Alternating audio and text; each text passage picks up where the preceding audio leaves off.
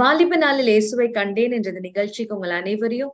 இயேசு கிறிஸ்துவின் இனிய நாமத்திலும் கர்மேல் கிறிஸ்துவ சபையின் சார்பிலும் வாழ்த்தி வரவேற்கிறோம்.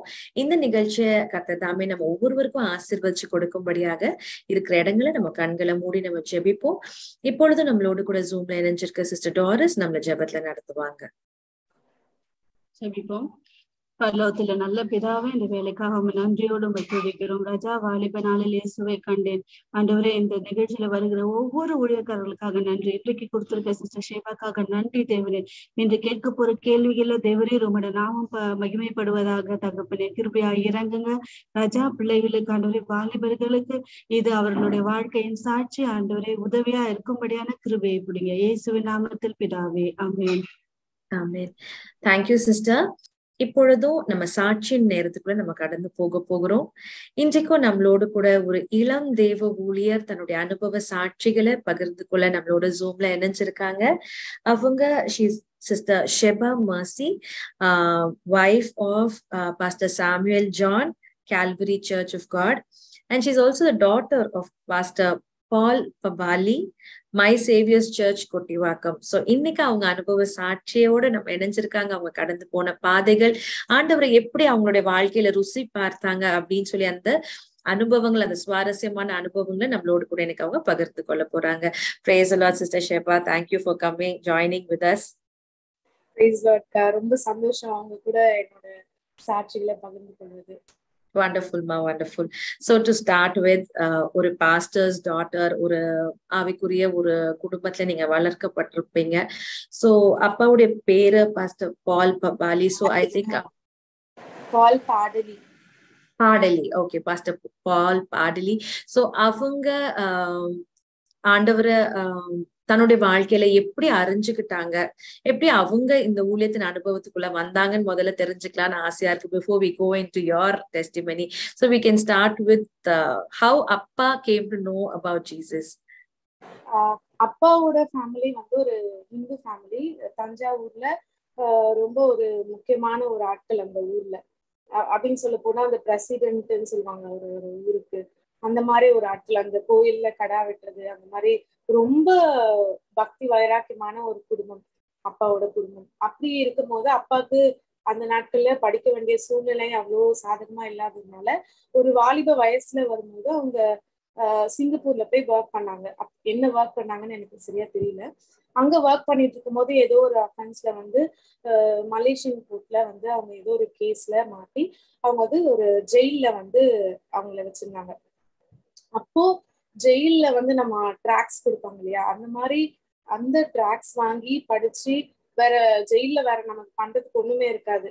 ஸோ அந்த டைம்ல அந்த ட்ராக்ஸ் படிச்சு அவங்க கொடுத்த அந்த நியூ டெஸ்ட்மெண்ட் பைபிள் அதை படிச்சு படிச்சு அப்போ இது மாதிரி ஒரு ஒரு தெய்வம் இருக்கிறாரா அப்படின்னு சொல்லி அறிஞ்சு கொண்டு அங்க வருகிற பாஸ்டர்ஸ் மூலமா வந்து நச்சதையை கேட்டு அந்த பாஸ்டர்ல கேட்டு அப்படி ஜெயில வந்து முழு நேரமா வேதம் ஜபம் வேதம் ஜபம் இது ரெண்டு மட்டும்தான் அவங்களோட வேலையா இருந்துச்சு.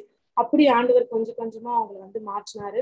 அந்த பாஸ்டரே வந்து நான் சொன்னதுக்குள்ள எங்களோட சர்ச் வந்து மை சேவியஸ் சர்ச் சிங்கப்பூர்ல மை சேவியஸ் சர்ச்ல இருக்க பாஸ்டர் பெனட் அவங்க வந்து இப்போ இறந்துட்டாங்க. அவங்க அந்த ஜெயில இருந்து அவங்கள வெளியே கொண்டு வந்து அந்த சர்ச்ல ஒரு அங்கத்தினரா அங்கேயே ஞானஸ்தானம் எடுத்து அங்கேயே ஆவிக்குள்ள நடத்தப்பட்டு அப்படி இருந்தாங்க.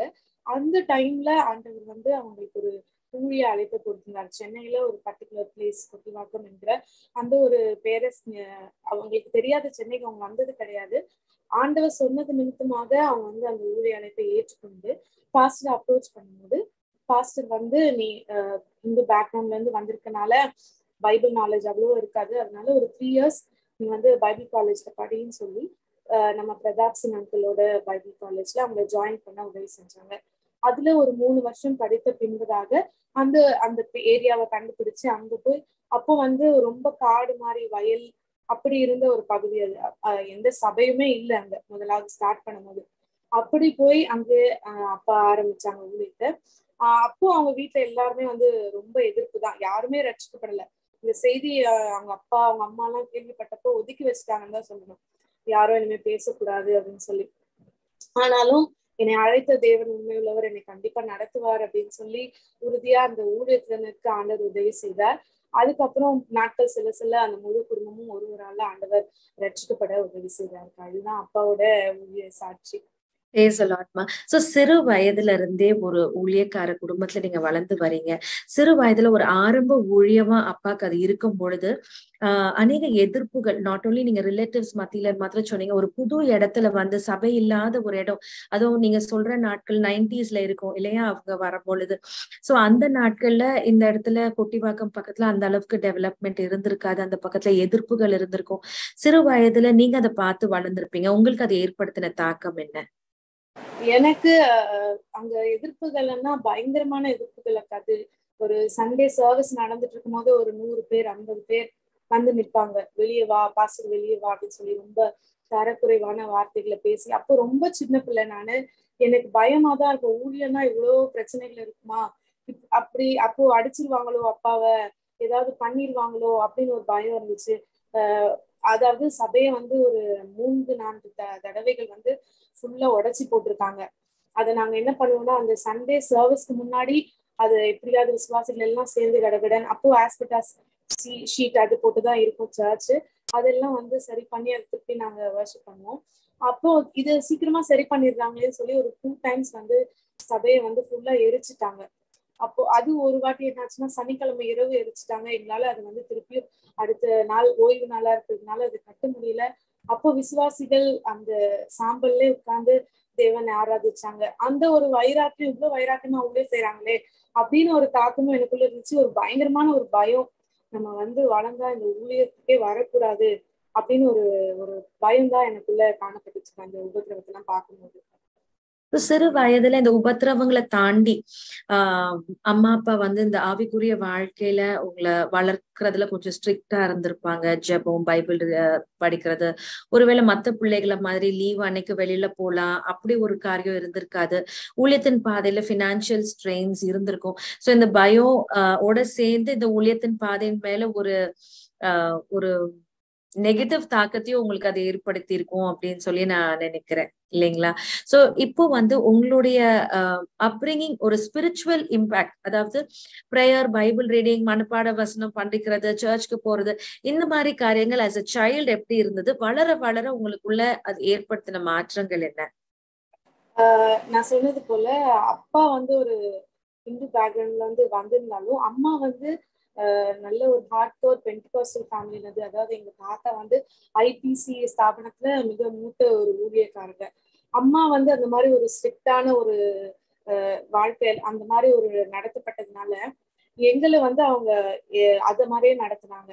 இப்படிதான் ட்ரெஸ் பண்ணணும் இப்படிதான் தலை வாரணும் கண்டிப்பா ஜெபிக்கணும் தலையில இருந்து டைம் நோட் பண்ணுவாங்க. எதுல இருந்து எது வரைக்கும் நாங்க ஜெபிக்கிறோம்? எவ்வளவு நேரம் நான் வேதம் வாசிக்கிறேன்?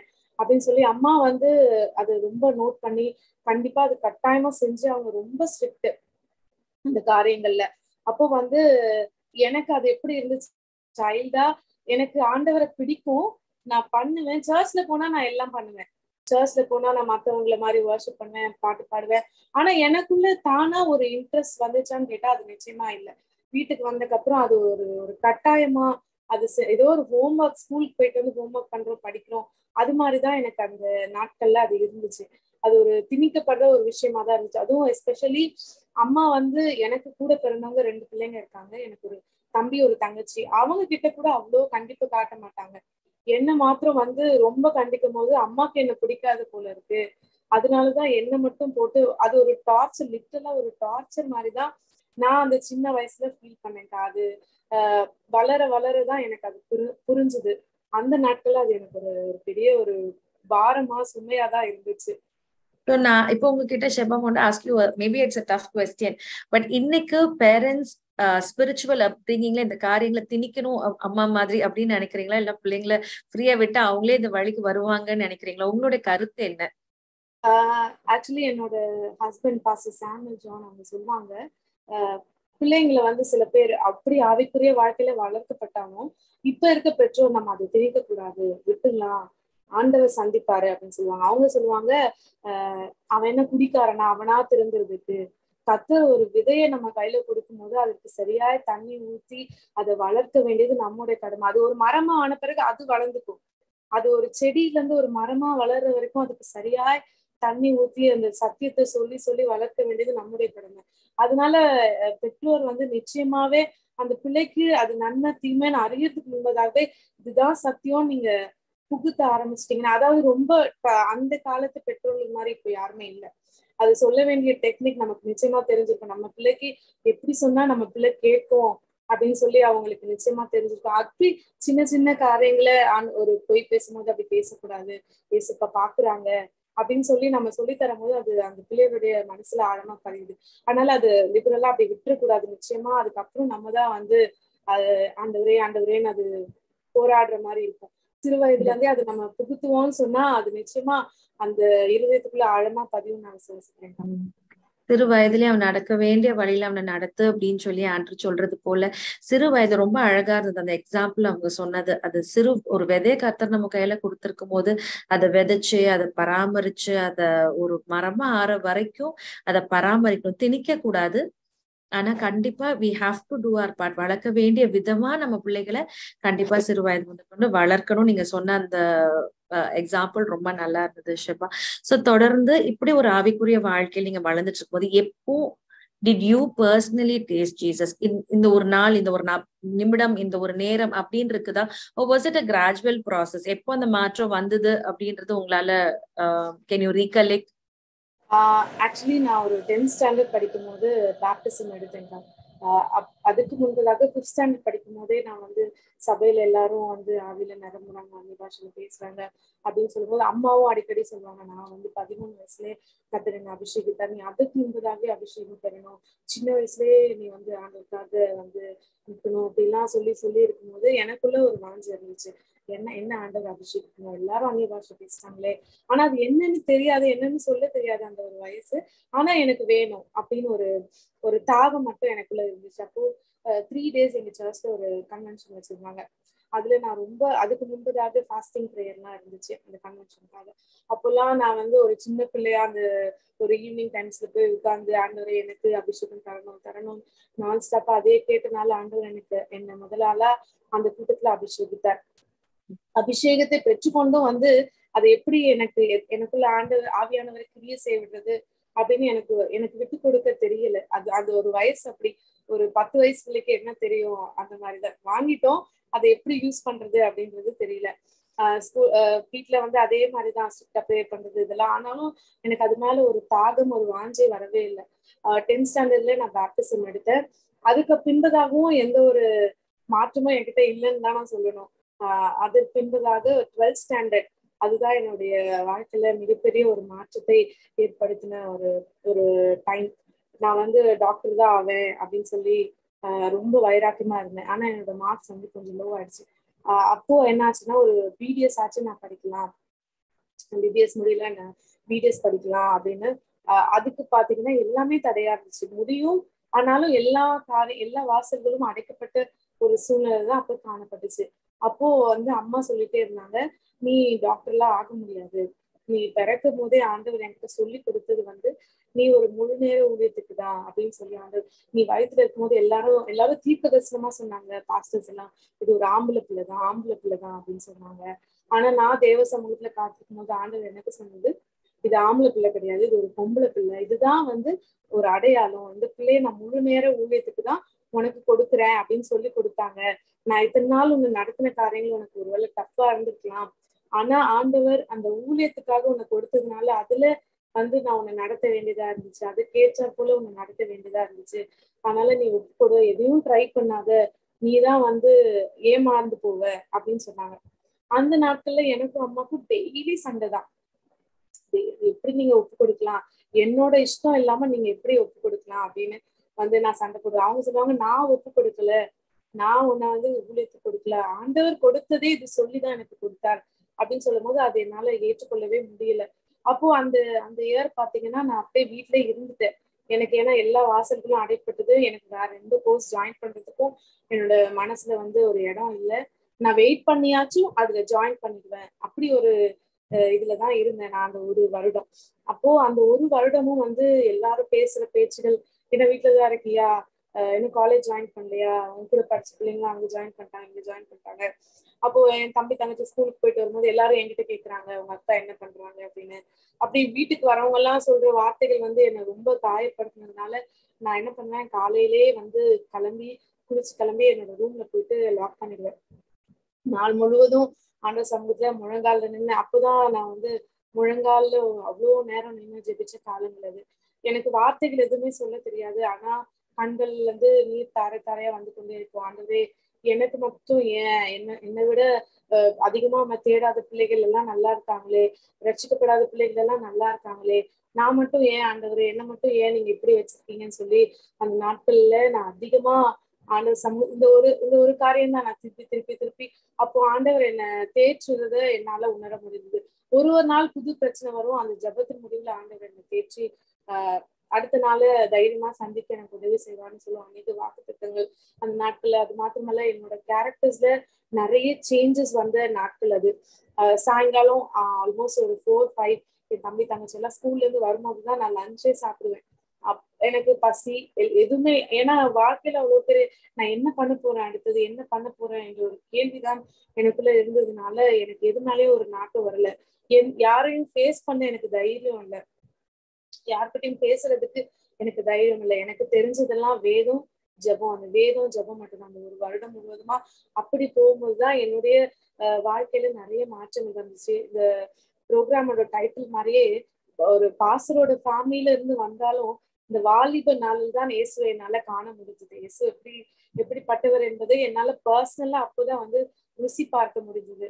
அப்போ என்னுடைய ஆசைகள் இஷ்டங்கள் எல்லாம் வந்து நான் ஒரு ஒரு குப்பையா பவுல் சொல்றது போல எல்லாத்தையும் நஷ்டம் என்று விட்டேன் என்று சொன்னது போல நான் அதெல்லாம் கொஞ்சம் கொஞ்சமா என்னோட எனக்குள்ள மாறுறது என்னால உணர முடிஞ்சது. ஆண்டவர் என்ன விரும்புறாரு? ஆண்டவர் நான் எப்படி வரணும்னு விரும்புறாருன்னு சொல்லி அந்த ஒரு அதுக்கு நேராக என்னுடைய கண்களை நான் திருப்ப ஆரம்பிச்சேன். அது வரைக்கும் நான் அப்படியெல்லாம் இருந்தது கிடையாது. ஒரு கட்டாயத்தின் பேர்ல இருந்ததே தவிர அந்த நாட்கள் வந்து என்னை கொஞ்சம் கொஞ்சமா மாறுச்சு.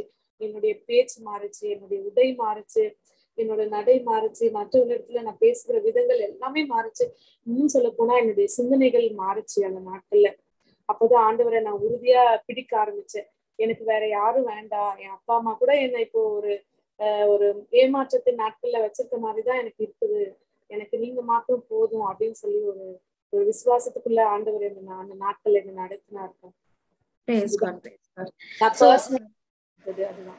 ஸோ பர்சனலா நீங்க இந்த நாட்கள்ல அதிகமா ஆண்டவரை நீங்க ருசி பார்த்திருக்கிறீங்க. ஸோ இந்த நாட்கள்ல உங்களுக்குள்ள ஏற்பட்ட மாற்றங்களை குறிச்சு நீங்க சொன்னீங்க.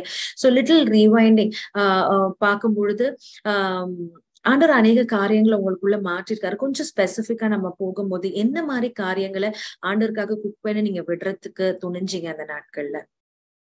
நான் வந்து மற்றவர்கள் எனக்கு எதுவும் இல்லைன்னாலும் நான் மற்றவர்களுக்கு முன்பதாக எல்லாம் இருக்கிறது போல காட்டிக்கொள்வது.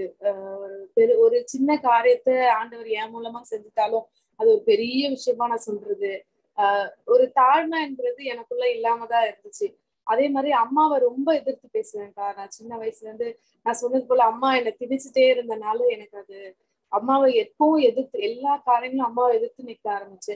அந்த காரியங்களை ஆண்டவர் எனக்குள்ள மாற்றினார். அம்மா என்ன சொல்றாங்கன்னு கொஞ்சம் காது கொடுத்து கேட்க ஆண்டவர் எனக்கு எனக்குள்ள அந்த விருப்பம் இன்னும் மாறலைனாலும் நான் இன்னும் வந்து ஆண்டவருடைய சித்தத்துக்கு முழுமையா எனக்கு ஒப்பு கொடுக்கலனாலும் நான் வந்து கொஞ்சம் சைலண்ட் ஆக ஆரம்பிச்சேன். எனக்கு கொஞ்சம் தாழ்த்த ஆரம்பிச்சேன். ஆஹ் அது அப்புறம் அதிகமா ஜெபிக்க ஆரம்பிச்சேன். ஒரு ஜெப ஜீவியமே இல்லாத ஒரு ஆள். ஒரு பத்து நிமிஷம் ஆஹ் அப்படி ஜெபிச்சுட்டேன். நான் ஜெபிச்சுட்டேன் அப்படின்னு சொல்லிடுவேன். அம்மா அம்மா அங்க போகும்போது இங்க போகும்போது நான் ஜெபிச்சுட்டேன் அப்படின்னு சொல்லிடுவேன். இல்லைன்னா சர்ச்ல போய் நான் ஜெபிக்கிறேன்னு சொல்லி அங்க போய் சும்மாதான் உட்காந்துருப்பேன் அப்போ அந்த அதிகமா ஒரு நாள் நான் ஒரு த்ரீ ஃபோர் ஹவர்ஸ் ஜபம் பண்ணலன்னா அது எனக்கு ஏதோ ஒரு பெரிய ஒரு இழப்பு மாதிரி எனக்கு காணப்பட்டுச்சு. அந்த மாதிரி காரியங்களை ஆண்டவர் என்ன நடத்தினார். முழு அந்த வேதத்தை கீழே வைக்க கூட எனக்கு மனசு வராது. எப்பவும் அதையே பிடிச்சிட்டு அதை வாசிச்சுட்டு அதுல ஆண்டவர் எனக்கு பேசுற காரியங்களை அண்டர்லைன் பண்ணிட்டு இப்படிப்பட்ட காரியங்களை ஆவிக்குரிய காரியங்களை ஆண்டவர் எனக்குள்ள மாற்றினா இருக்கும் praise God praise God so இப்ப தொடர்ந்து நீங்க உங்க லைஃபை நீங்க அந்த ஃபாஸ்டிங் ப்ரேயர் நாட்கள்ல ஆண்டரோட நெருங்கிய ஒரு relationship you knew God you start tasting God அந்த மாதிரி ஒரு காரியங்கள் இருந்தது. ஸோ தொடர்ந்து உங்க மேற்படிப்பு காரியங்கள் உங்க லைஃப வந்து எந்த நாட்கள்ல ஆண்டர் ஊழியத்துக்குன்னு உங்களை அழைச்சாரு? அதுக்கு முன்பாக எப்படி ஆண்டர் உங்களை பக்குவப்படுத்தினாரு? ஆஹ் இப்படி அந்த ஃபாஸ்டிங் டைம் போயிட்டே இருக்கும்போது அந்த ஒன் இயர் கம்ப்ளீட் ஆகி அடுத்த அகாடமிக் இயர் வந்துருச்சு. ஒரு ஜூன் வந்துருச்சு. அப்படி இருக்கும்போது ஏதாவது ஜாயின் பண்ணணும். இன்னும் ஒரு வருஷம் வீட்டுல இருக்க முடியாது அப்படின்னு சொல்லி பெற்றோர் பெற்றோர் வந்து சொல்ல ஆரம்பிச்சாங்க. அப்பவும் வந்து எனக்குள்ள ஒரு ஆசை. எப்படியாவது நான் பிடிஎஸ் ஜாயின் பண்ண ஆண்டவர் இவ்வளவு மாற்றத்தை எனக்குள்ள கொடுத்துருக்காருல்ல. இந்த பிடிஎஸ் எனக்கு ஜாயின் பண்ண ஆண்டவர் உதவி செய்ய மாட்டாரா அப்படின்னு ஒரு அதுல நான் உறுதியா இல்ல. இருந்தாலும் ஆண்டவர் எனக்கு செய்ய மாட்டாரா அப்படின்னு ஒரு ஒரு விருப்பம் எனக்குள்ள இருந்துச்சுக்கா. அப்போ நான் ட்ரை பண்ணி பார்க்கலாம் அப்படின்னு சொல்லும் போது அம்மா திருப்பி அதே தான் சொன்னாங்க. நீ வந்து அதெல்லாம் பண்ணக்கூடாது. ஸ்டார்டிங்ல இருந்தே நீ வந்து ஒரு பிஏ இங்கிலீஷ் லிட்ரேச்சர் பண்ணு. அதுதான் ஊழியத்துக்கு சரியா இருக்கும். நீ அது பண்ணு அப்படின்னு சொல்லும்போது அஹ் அப்பவும் கொஞ்சம் ஒரு தயக்கம் எனக்குள்ள இருந்துச்சு. எப்படி நான் முழு நேரம் ஊழியத்துக்கு ஒப்பு கொடுப்பேன்? நான் ஒரு சின்ன பிள்ளையா இருக்கேனே நான் எப்படி ஊழியம் செய்வேன்? இவ்வளவு கஷ்டத்தை பார்த்திருக்கேன். நான் இது இதை எப்படி நான் விக்ஸ்டாண்ட் பண்ணுவேன்? அப்படின்னு சொல்லி எனக்குள்ள ஒரு தயக்கம் இருந்து கொண்டேதான் இருந்துச்சு. அப்போ அது பாத்தீங்கன்னா அது ஜூலை வந்துருச்சு. நான் இன்னும் அதை யோசிச்சுட்டு ஒரு கரெக்டா ஒரு ஒரு டிசிஷன் எடுக்க முடியாத ஒரு சூழ்நிலையில தான் இருந்தேன். அப்ப ஆண்டவர் எனக்காகவே ஒரு மற்றவர்கள் மூலமா பேச ஆரம்பிச்சார். சந்திக்கிற ஊழியர்காரர்கள் மூலமா பேச ஆரம்பிச்சார். நீங்க இன்னும் ஒப்பு கொடுக்கலையே ஆண்டவர் உங்ககிட்ட பேசலையா? அப்படின்னு சொல்லி. ஆனாலும் அது நான் ஒரு அதுல இருந்து அந்த சுச்சுவேஷன் வந்து எஸ்கேப் ஆகுற ஒரு பர்சனா தான் காணப்பட்டேன். அப்போ ஒரு நாள் வந்துச்சு. அப்போ ஒரு எங்களோட அங்கிள் ரொம்ப ஃபேமிலி க்ளோஸ் ரிலேட்டிவ் அவங்க அவங்க வந்து கோவால மினிஸ்டர் பண்ணிருக்காங்க. அவங்க எனக்காகவே வந்து எல்லா ஊருக்கும் ஸ்டாப் பண்ணிட்டு வந்தாங்க எங்க வீட்டுக்கு. வந்து அவங்க என்கிட்ட கேட்ட ஒரே வார்த்தை நீ ஏன் இன்னும் தயங்கிட்டு இருக்க? ஏன் பயப்படுற? ஆண்டவர் ஒப்பு கொடுக்கணும்ல உங்க அம்மா கிட்ட கேளு. உன்னை ஆண்டவர் எதுக்காக கொடுத்தாருன்னு அவங்க சொல்லுவாங்க அப்படின்னு. எனக்கு தெரியும் அங்கிள் ஆனாலும் எனக்குள்ள ஒரு பயம் இருக்கு. நான் ஒரு நல்ல ஒரு படிப்பு படிக்கலன்னா எப்படி? நான் ஒரு வருஷம் வெயிட் பண்ணி நான் இதுல ஜாயின் பண்ணணுமா? அப்போ என்னோட ஃப்ரெண்ட்ஸ் எல்லாம் என்ன என்ன நினைப்பாங்க அப்படின்னு சொல்லி நான் வந்து சொன்னேன். அப்போ அவங்க சொன்னாங்க ஆஹ் ஆண்டவர் உன்னை வந்து உயர்த்தணும்னு நினைச்சா எப்படி வேணா உயர்த்தலாம். இது படிப்பு மாத்திரம் உன்னை உயர்த்தாது. அதனால நீ ஆண்டவரோட சித்தத்துக்கு முழுமையா ஒப்பு கொடு இதுக்கு மேல உனக்கு வந்து டைம் கிடையாது. நீ இப்போ ஒப்பு கொடுத்தாதான் ஆஹ் ஆண்டவரோட சித்தம் உன்னுடைய வாழ்க்கையில் நிறைவேறும்னு சொல்லி அது ஒரு கரெக்டா செக் வச்ச மாதிரிதான் அந்த ஒரு டைம் இருந்துச்சு. அப்போ வேற வழியே இல்லாம ஆண்டவர் சமூகத்துல எனக்கு முழுமையா ஒப்பு கொடுத்தேன். அன்னைக்கு ஒரு தீர்மானம் பண்ணேன். ஆண்டவரே நீங்க கொடுக்கறது நல்லதோ கெட்டதோ அது உங்க சித்தம் அப்படின்னு எனக்கு தெரிஞ்சதுன்னா அதை நான் பிளைண்டா நம்புவேன். அதுல இருந்து நான் பேக் பேக் ஆகவே மாட்டேன் ஆண்டவரேன்னு சொல்லி அந்த நாள்ல என்ன ஒப்பு கொடுத்தேன். அடுத்த நாளே ஆண்டவர் அந்த காலேஜ்ல ஜாயின் பண்ண எல்லாமே அட்மிஷன்ஸ் எல்லாமே க்ளோஸ் பண்ணிட்டாங்க. அடையாறுல ஒரு காலேஜ்ல ஜாயின் பண்ண தேவன் எனக்கு உதவி செய்தார். அவர்கள் கண்களில் கிருப கிடைக்க தேவன் எனக்கு உதவி செய்திருக்கா அந்த சித்தத்துல நிற்க எனக்கு உதவி செஞ்சாருன்னு நான் சொல்லணும். ஸோ வண்டர்ஃபுல் வண்டர்ஃபுல் ஸோ எப்படியாக வளர்க்கப்பட்டீங்க? நீங்க சந்திச்ச சவால்கள் என்ன? எப்போ ஆண்டவரை ஒரு சொந்த ரட்சகரா நீங்க ஏற்றுக்கொண்டீங்க? எப்போ ஆண்டவரை ருசி பார்க்க ஆரம்பித்தீங்க? உங்களுடைய படிப்பு காரியங்களை கர்த்தர் எப்படியான ஒரு ஜெயத்தை உங்களுக்கு கொடுத்தார்? ஆண்டு சித்தத்தை அறியக்கூடிய ஒரு இருதயத்தை அந்த பக்குவத்தை உங்களுக்கு கர்த்தர் எப்படி கொடுத்தார்? பல காரியங்களை நம்ம பேசி கொண்டிருந்தோம். ஸோ உங்களுடைய படிப்பை முடிச்சுட்டு நீங்க மினிஸ்ட்ரிக்கு டைரக்டா வந்தீங்களா? வேலைக்கு போனீங்களா? அது ஆக்சுவலி அப்பா அம்மாக்கு என்ன விருப்பம்னா இன்னொரு டிகிரி கூட பண்ணு அப்படின்னு சொல்லி அவங்க விருப்பப்பட்டாங்கக்கா. ஆனா நான் வந்து இந்த காலேஜ் போறதுக்கு முன்னாடியே தேவ சித்தத்தை அறிஞ்சு செயல்படணும்னு ஒரு ஒரு எண்ணம் எனக்குள்ள இருந்தனால நான் வந்து நான் ஜெபம் பண்ணி நான் சொல்றேன். ஆண்டவர் எனக்கு என்ன பேசுறாரோ அதை நான் சொல்றேன்னு சொல்லி அந்த ஃபைனல் இயர் வரும்போது நான் வந்து ஜெபிக்க ஆரம்பிச்சிட்டேன் ஆண்டவரே நான் அடுத்து என்ன பண்ணணும்? நான் படிக்கணுமா? இல்ல நான் வேலைக்கு போகணுமா? அம்மா அப்பாவுக்கு வேலைக்கு அனுப்ப இஷ்டம் கிடையாது. பெண் பிள்ளைகள் அந்த வேலைக்கு போக வேண்டாம். அந்த ஒரு மென்டாலிட்டிலேயே அவங்க இருந்தாங்க.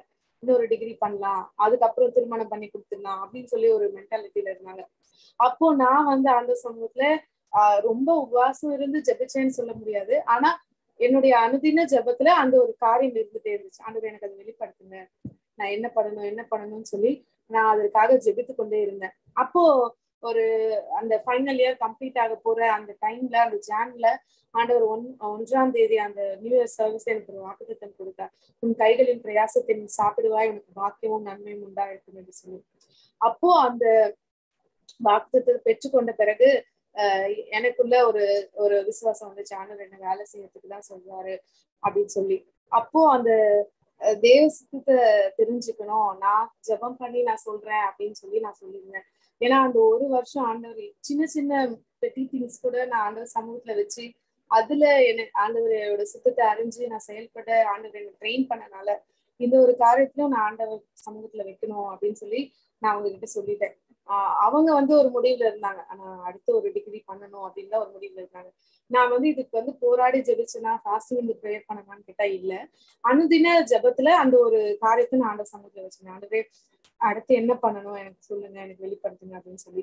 அப்போ அந்த தேர்ட் இயர் கம்ப்ளீட் ஆகுற அந்த டைம்ல ஜான்வரி ஃபர்ஸ்ட் அந்த நியூ இயர் சர்வீஸ்ல ஆண்டவர் எனக்கு ஒரு வாக்குத்தம் கொடுத்தார். உன் கைகளின் பிரயாசத்தை நீ சாப்பிடுவாய் உனக்கு பாக்கியம் நன்மை உண்டா அப்படின்னு சொல்லி. அப்போ நான் உறுதிப்படுத்திக்கிட்டேன். ஆண்டவர் என்ன வேலைக்கு தான் போக சொல்றாரு அப்படின்னு சொல்லி. அப்போ நான் வீட்டுல சொல்றேன் அவங்க வந்து சரி விடு அப்படின்னு சொல்லி கேஷுவலா எடுத்துட்டு விட்டுட்டாங்க. அந்த கரெக்டா ஒரு டுவெண்ட்டி டேஸ்ல எங்களுக்கு காலேஜ்ல வந்து ஒரு நல்ல ஒரு கம்பெனில இருந்து இது என்ன சொல்லுவோம் அந்த கம்பெனில வந்து கேம்பஸ் இன்டர்வியூ வந்துச்சு. கேம்பஸ் வந்துச்சு. அப்படி அப்போ வந்து எல்லாருமே தயங்கிட்டாங்க. இவ்வளவு பெரிய கம்பெனில போகணுமா அப்படின்னு. ஆனா எனக்குள்ள ஒரு ஒரு சமாதானம் இதுல. கண்டிப்பா நான் போய் ஜாயின் பண்ணணும். இதுல நான் பார்ட்டிசிபேட் பண்ணணும் அப்படின்னு சொல்லிட்டு எனக்கு ஒரு விருப்பம் வந்து நான் அதை ஜெபிச்சு அந்த ஒரு நாள் அதுக்கா ஜெபிக்கும் போது எனக்கு சமாதானமா இருந்ததுனால நான் அதுல தனியால போய் ஒரு தனியா அந்த மாதிரிதான் இருந்துச்சு. அதான் அந்த நாட்டில் ஆண்டவர் எனக்கு சொல்லி கொடுத்த பாடம் தேவசத்துக்கு செய்யும் போது ஒரு தனியா இருக்கிற மாதிரி ஒரு ஃபீல் தான் இருக்கும். ஆனா ஆண்டவர் என் கூட இருந்தார் அப்படின்னு சொல்லிதான் நான் சொல்லணும். அந்த கம்பெனில கிட்டத்தட்ட ஒரு டூ ஹண்ட்ரட் பீப்புள் பிளஸ் அவ்வளவு இருந்திருப்பாங்க. அவ்வளவு பிள்ளைங்க இருந்திருப்பாங்க. ஆனா அதுல டுவெண்ட்டி ஃபைவ் பீப்புள்ல ஆண்டவர் என்னையும் ஒரு ஆளா வந்து செலக்ட் பண்ண உதவி செய்தார். சோ இப்ப அந்த ஒரு சுச்சுவேஷன்ல ஒரு நல்ல ஒரு ஐடி கம்பெனில கர்த்தர் கொண்டு போய் வைக்கும் பொழுது அங்க கர்த்தருக்கு தேவ சித்தத்தை நிறைவேற்றும் போது தனித்து காணப்படணும் அப்படின்னு நீங்க சொல்றீங்க. சோ அங்க கர்த்தருக்காக நீங்க ஃபேஸ் பண்ண சேலஞ்சஸ் என்ன? அதை எப்படி நீங்க ஓவர் கம் பண்ணீங்க how was that walk with Lord among ஒரு நியூ என்வாயர்மெண்ட் அந்த ஐடி வந்து எனக்கு உண்மையாகவே ரொம்ப வித்தியாசமா இருந்துச்சு. ஐடி வேர்ல்டு வந்து. என்னால அவங்க கூட எல்லா காரியங்களிலையும் ஒத்து போக முடியல. அவங்கள மாதிரி என்னால மிஸ் பண்ண முடியல. அவங்க சொல்லுவாங்க நீ சின்ன பிள்ளை தானே. இப்படி ஒரு கம்பெனில வேலை செய்யற ஆனா நீ ஏதோ வந்து இது மேனுஃபேக்சரிங் கம்பெனில ஒர்க் பண்ற மாதிரி ட்ரெஸ் பண்ணிட்டு வரையே அப்படின்லாம் சொல்லுவாங்க. ஆனாலும் வந்து என்ன என்னால அதற்கு ஏற்றார் போல என்னை மாற்றிக்கொள்ள முடியல. இன்னும் சொல்ல போனா ஒரு எதிர்நீச்சல் அடிக்கிறது போல ஒரு சுச்சுவேஷன்ல தான் நான் இருந்தேன். மற்றவர்களை பார்க்கும்போது நான் ஒரு வித்தியாசமான ஒரு why were you different? uh, was it compulsion இல்ல உங்களுக்கே பிடிக்கலையா? How was that situation? ஆமா எனக்கு அது பிடிக்கல. எனக்கு அப்படியே வளர்ந்தனால அதை என்னால மாற்றிக்கொள்ள முடியல. ஆண்டவரை இன்னும் எத்தனை நாள் நான் ஒவ்வொரு நாளும் அந்த கேப்ல வரும்போது லாஸ்ட் சீட்ல போய் உட்காந்துட்டு அந்த வீட்டுக்கு டிராவல் பண்ற வரை என் கண்ணுல இருந்து கண்ணீர் வந்து கொண்டே இருக்கும். ஆண்டவரை இன்னும் எத்தனை நாள் என்ன இந்த சுச்சுவேஷன்ல வச்சிருப்பீங்க? இதுல என்னிடத்துல நீங்க என்ன காரியங்களை மாற்ற போறீங்க? அப்படின்னு சொல்லி ஒவ்வொரு நாளும் நான் வந்து வேதனையோட தான் வருவேன். வந்து உடனே ட்ரெஸ்ஸிங் பண்ணிட்டு அந்த டூ ஹவர்ஸ் எனக்கு நீல் டவுன் இருந்து ப்ரேயர் பண்ணாதான் அந்த நாள் எனக்கு சமாதானம். ஆண்டவர் என்ன தேய்ச்சினாதான் ஒரு ஆறுதல் அடையிற ஒரு சூழ்நிலை. பயங்கர ஒரு என்னால வந்து அந்த டிப்ரெஷன் ஹேண்டில் பண்ண முடியாத ஒரு சூழ்நிலை தான் ஒர்க் ப்ரெஷரும் சரி அதை சுற்றி இருக்கிற ஜனங்களும் சரி அது மத்தியில இருக்கிறது ஒரு ஒரு எங்கேயோ இருக்கிற மாதிரிதான் இருந்துச்சு. நடுவுலயோ I am not belongs to this place அப்படிதான் இருந்துச்சு எனக்கு. ஆஹ் அப்படியும் ஆண்டவர் வந்து என்ன அதுல இருந்து பாதுகாத்தார். கிருபையா என்ன பாதுகாத்தாருன்னா நான் சொல்லணும்க்கா. சோ நீங்க சொன்னது போல வாலிப நாள்ல இயேசுவை நீங்க கண்டு கொண்டீங்க அப்படின்ற உங்க அனுபவங்களை எங்களோட நீங்க ஷேர் பண்ணிட்டு இருக்கிறீங்க. சோ இந்த நாட்களில ஆண்டவருக்காக நீங்க செய்த காரியங்கள் என்ன? வேலை ஸ்தலத்துல சொல்றீங்களா? இல்ல வேலை ஸ்தலத்துல உங்களுடைய ஸ்கூல் முடிஞ்ச நாட்கள் காலேஜ் நாட்கள்ல சபையோட இணைஞ்சு சோ எப்படி ஆண்டவருக்காக அந்த நாட்களை வாழணும்ன்ற ஒரு வைராக்கியம் உங்களுக்குள்ள இருந்தது? உங்க சாட்சியில இருந்து தெரியுது பட் வாலிப நாட்கள்ல கத்தருக்காக நீங்க செய்த காரியங்கள் என்ன? ஆண்டு உங்களை எப்படி அதுல பழக்க வித்தாரு ஏன்னா எப்படியும் நீங்க வந்து உங்களை மூணு நேரம் ஊழியத்துக்கு கருத்து பிரிச்சு எடுத்திருக்கிறார். ஸோ ட்ரைனிங் உங்களுக்கு சின்ன வயசுல இருந்தே ஆரம்பிச்சிருக்கோம். ஸோ உங்களை எந்தெந்த ஊழியங்கள்ல கத்தர் பழக்க வித்தார் அந்த ஊழிய அழைப்பு வந்த அப்புறமா நான் அதுக்கு ஒப்பு கொடுத்ததுக்கு அப்புறமா அப்பா அம்மா வந்து என்ன சர்ச்ல வர்ஷிப் லீட் பண்றதுக்கு என்னை வந்து என்கரேஜ் பண்ணாங்க. அது எனக்கு ரொம்ப புதுசா இருந்தாலும் முன்னாடி நின்று பாடுவேன். அதோட வந்து இருந்துருவேன் ஒரு வருஷம் லீட் பண்றது எனக்கு ஒரு ஒரு அடுத்த ஒரு ஸ்டெப்பா இருந்துச்சு ஊழியத்துக்கு. அது மாத்திரமல்ல யூத் பிள்ளைங்க மத்தியில ஆண்டவர் வந்து என்னை அறியாமலே என்னை அவர்களுக்கு ஆசீர்வாதமா வைத்தாருமா சொல்லுவோம் நான் அந்த நாள் அந்த வாரம் முழுவதும் ஏதோ ஒரு வார்த்தை ஆண்டவர் என் இருதயத்துல வச்சிருப்பாரு. அதை நான் தியானித்து தியானித்து அந்த சண்டே வரும்போது அந்த பிள்ளைங்களோட ரொம்ப கேஷுவலா ஷேர் பண்ணுவேன். அப்போ அது கொஞ்ச நாள் கழிச்சு சொல்லுவாங்க நீ அன்னைக்கு பேசின வார்த்தை எனக்கு ரொம்ப ஆசீர்வாதமா இருந்துச்சு. அந்த சுச்சுவேஷன்ல நீ சொன்ன வார்த்தை ரொம்ப ஆப்டா இருந்துச்சு அப்படின்னு. என்ன அறியாமலே ஆண்டவர் சின்ன சின்ன நான் பேசுற காரியங்கள்ல ஆண்டவர் என்ன மற்றவர்களுக்கு ஆசீர்வாதமா ஆறுதலா வைத்தாருன்னு தான் சொல்லணும்க்கா அது மாதிரி சில்ட்ரன்ஸ் மினிஸ்ட்ரிலையும் அதே மாதிரி முன்னாடி நின்று எல்லாத்தையும் எடுத்து செய்ய ஆண்டவர் எனக்கு உதவி செய்தார். அம்மா அப்பாவும் அதுக்கு நல்ல ஒரு என்கரேஜ்மெண்ட் கொடுத்தாங்க. ஊழியர் செய்யறதுக்கு. வண்டர்ஃபுல் வண்டர்ஃபுல்மா சோ அநேக காரியங்களை நம்ம பேசிட்டு இருந்தோம். இப்போ நம்மளோட கூட தொடர்ந்து பேச ஒரு பேனல் காத்துட்டு இருக்காங்க. சோ அவங்கள நான் உங்களுக்கு இன்ட்ரடியூஸ் பண்றேன். தொடர்ந்து அவங்களுடைய கேள்விகளோடு சேர்ந்து ஒரு சில காரியங்களை நம்ம பேசுவோம். சோ நம்மளோட இன்னைக்கு பேனல்ல இருக்கிறது Anitha praise Lord Anitha praise Lord அக்கா பிரைஸ் லார்ட் அக்கா. பிரைஸ்ல ஆஹ் Shobi. Praise Lord Shobi. And sister Doris நம்மளோட இணைஞ்சிருக்காங்க. Praise Lord sister praise Lord sister praise Lord sister so முதலாவது I think we will start with ஷோபியோட கொஸ்டின்ல இருந்து ஆரம்பிக்கலாம்னு நினைக்கிறேன். ஷோபி உன்னோட கொஸ்டின்மா அக்கா நீங்க சொன்னீங்க நீங்க சிறு வயதுல இருந்தே ஏசப்பா ஏசப்பா இருந்துதான் வளர்ந்தீங்க அப்படின்னு சொன்னீங்கக்கா. அப்படி இருக்கும்போது ஸ்கூல் படிக்கும் போது வாலிப வயசு இருந்திருக்கும். அப்ப வந்து நீங்க ஏசப்பா பத்தி உங்க ஃப்ரெண்ட்ஸ் கிட்ட சொன்னீங்களா? உங்க ஃப்ரெண்ட்ஸ் கிட்ட சொல்லும்போது உங்க ஃப்ரெண்ட்ஸ் கிட்ட இருந்து வர ரிப்ளை எப்படி இருந்தது அப்படின்றத சொல்லுங்க. அதுவும் இல்லாம அதுக்கப்புறமா உலகத்துல இருக்க ஆசைகளும் உங்க ஃப்ரெண்ட்ஸ் வந்து சொல்லியிருப்பாங்க. சினிமாக்கு போலாம் வெளியே போலாம்னு சொல்லியிருப்பாங்க. அப்படி இருக்கும்போது அதுல இருந்து எப்படி நீங்க அவாய்ட் பண்ணி அந்த- சுச்சுவேஷன் வந்து அவாய்ட் பண்ணி வெளியே வந்தீங்க அப்படின்றத சொல்லுங்க.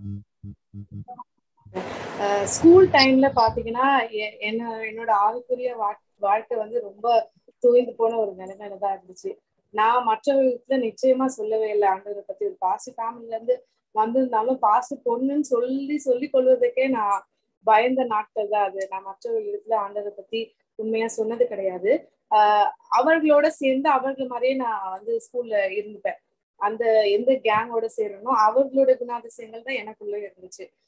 டிஸ்ட்ராக்ஷன் இருந்துச்சா அப்படின்னு நீங்க கேட்டீங்கன்னா வெளிய வெளியெல்லாம் என்ன கூப்பிட்டது கிடையாது. கூப்பிட்டாலும் வந்து விட மாட்டாங்க ரொம்ப ஸ்ட்ரிக்டான ஃபேமிலி ஸோ அந்த அந்த ஒரு காரியத்துல நான் நோ சொல்லிடுவேன். ஏன்னா பயங்கரமா அடி விடும் வீட்டுல அதனால அந்த காரியத்துல வந்து நான் நோ சொல்லிடுவேன்.